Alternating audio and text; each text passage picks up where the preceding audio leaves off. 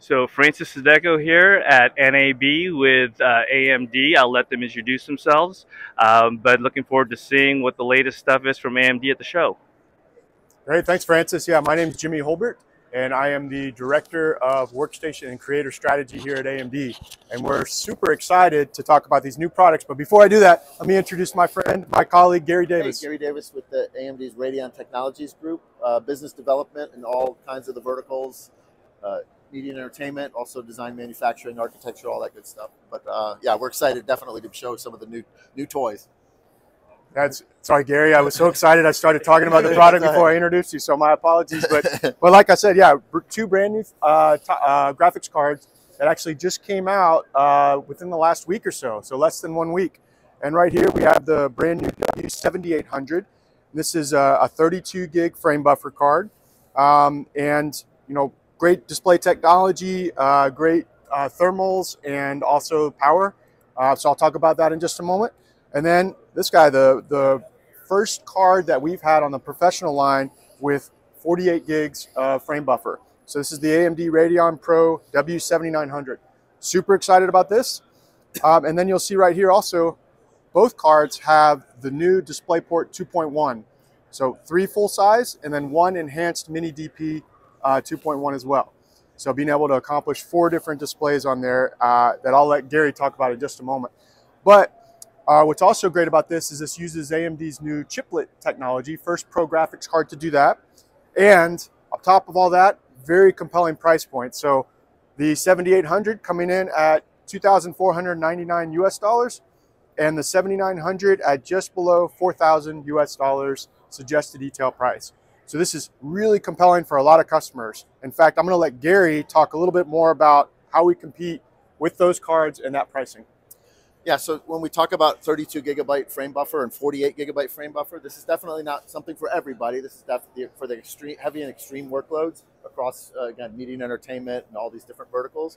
But we really like talking about the price and performance of these. As Jimmy mentioned, we have really aggressive uh, announced pricing here. But when we talk, uh, looking at the competition, on the left side of this chart, we're seeing all of the 48 gigabyte flavors, if you will, that are out there. And the Spec ViewPerf Geomean, if you're not familiar with it, at a very high level, it's a series of tests that run a lot of different applications and give you a result.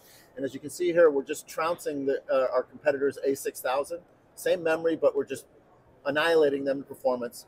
I'll get to the DisplayPort 2.1 in a second. We're doing so with less power and certainly at a more affordable price.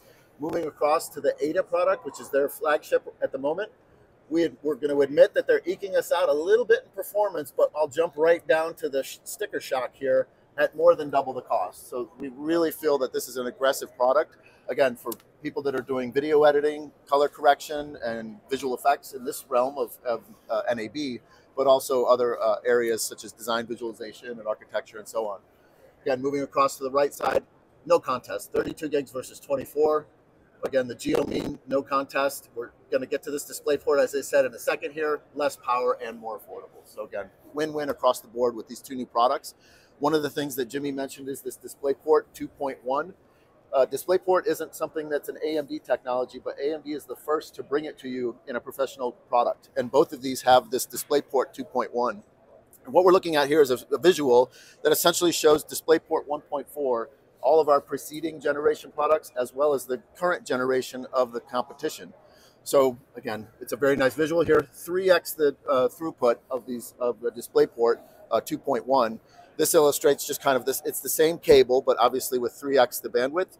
And what that does is gives you uh, a certain amount of information that can come down that pipe. That's going to define resolution, uh, refresh rate, and color bit depth.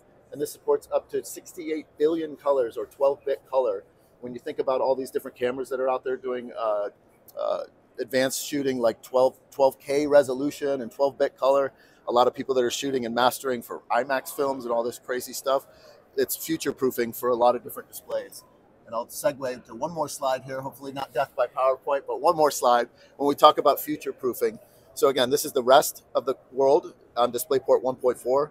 And our, our Pro, uh, excuse me, Radeon Pro W7000 series, again, is the first professional graphics card anywhere in the world to bring this DisplayPort 2.1. And we have a lot of different partners out there. We actually have a, a, Dell 6K display in the booth that's doing some phenomenal work around the corner.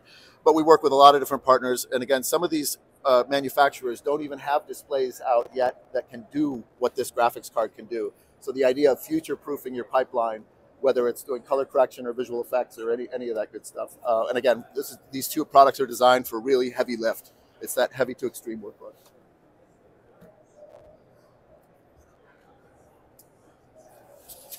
Perfect. Thanks, guys. Really appreciate you guys taking the time, but really exciting to see these products come through.